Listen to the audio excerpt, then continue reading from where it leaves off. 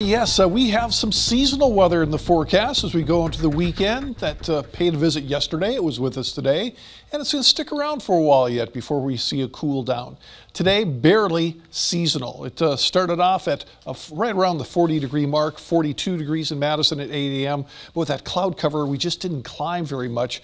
Topped off at 50 this afternoon. It's been holding steady there all afternoon. Just a solid overcast. There have been sprinkles from time to time. Really no more than that.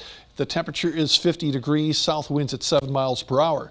Now, if you look at radar at face value, boy, it's looking like it's a rainy afternoon. But almost all this rain is evaporating before it reaches the ground. These darker echoes as you get down towards Monroe, yeah, that could uh, actually be sprinkling a little bit. But if you look at visibilities, when you're at 10 miles, you really don't have anything going on. Janesville's at 7, might have a few sprinkles there. But temperatures are in the upper 40s to right around the 50 degree mark. That's the kind of temperature we'll see tomorrow tomorrow afternoon, but it'll be with sunshine.